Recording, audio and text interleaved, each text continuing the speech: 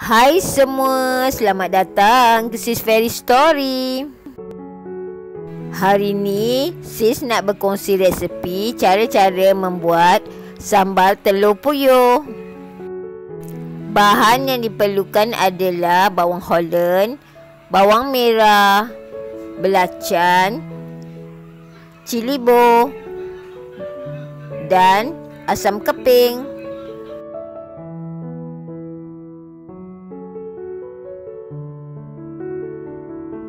Bawang holland hendaklah dihiris halus-halus manakala bawang merah hendaklah diblend halus.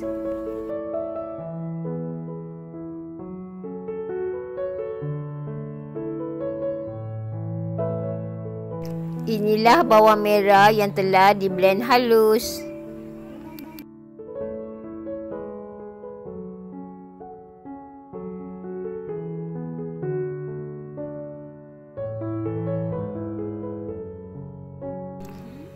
Ini adalah telur burung puyuh yang telah dicuci bersih kemudian direbus.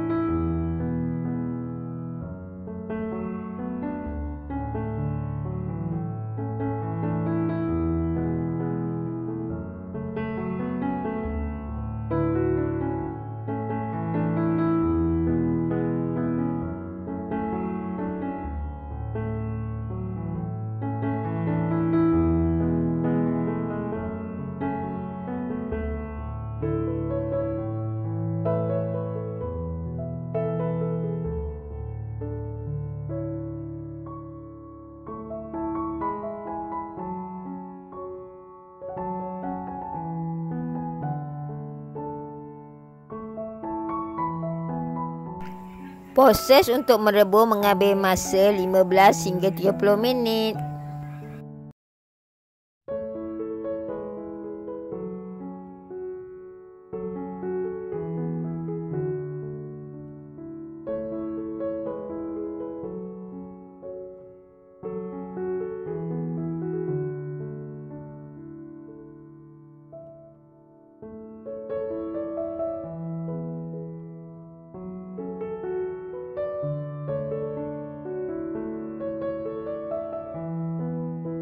Bila air telah mendidih, barulah dimatikan api dan ditoskan air rebusan tadi.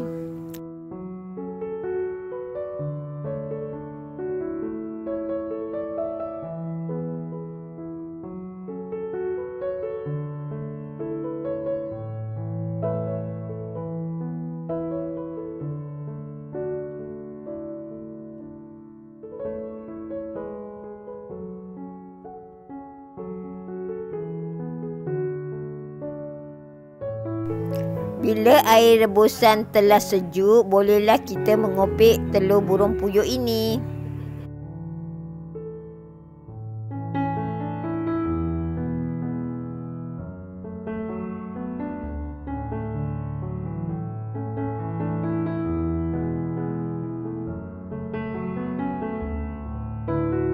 Beginilah cara kita mengopek telur burung puyuh. Kita perlu berhati-hati mengopeknya supaya telur tidak pecah.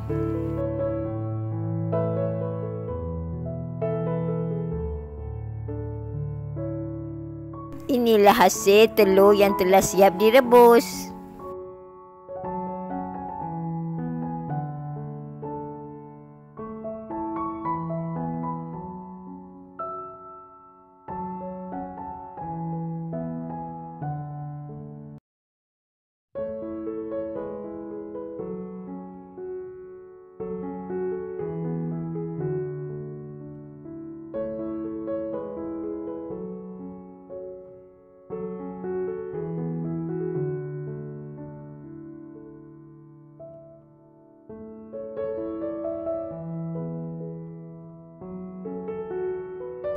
Bila telur telah siap dikopek, kita asingkan ke tepi. Sekarang adalah masa untuk membuat sambal. Mula-mula kita panaskan kuali dan kita masukkan minyak masak.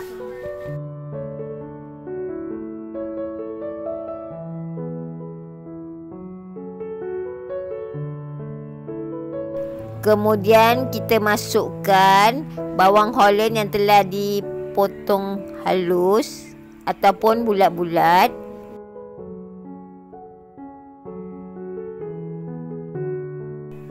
Kemudian kita masukkan belacan yang telah kita ramas-ramas diikuti dengan asam keping.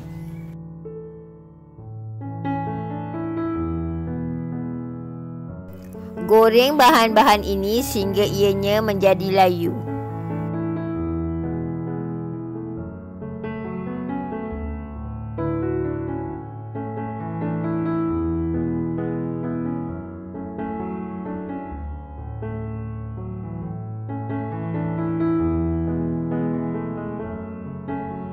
Bila bahan tadi telah layu, kita masukkan bawang yang telah dikisar halus. Diikuti dengan cili bo.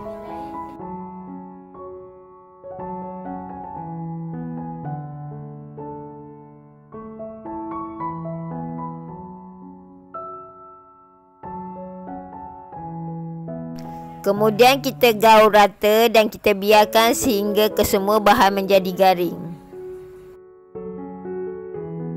Ataupun pecah minyak.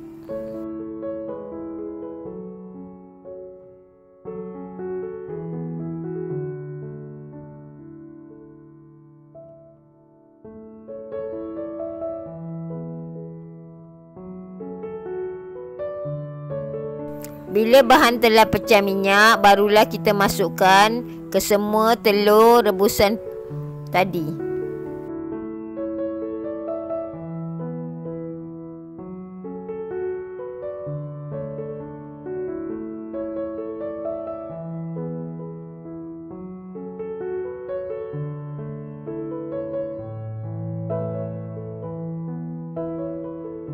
Sementara menunggu kuah sedikit kering, kita masukkan garam.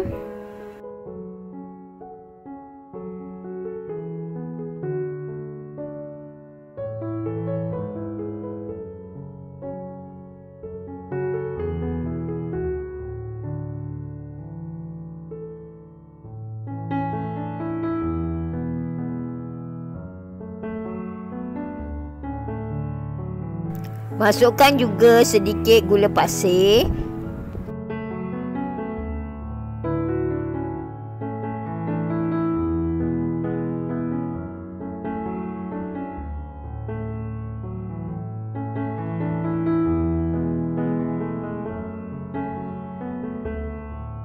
Kemudian kita gaulkan rata-rata dan kita biarkan sehingga kuahnya sedikit kering.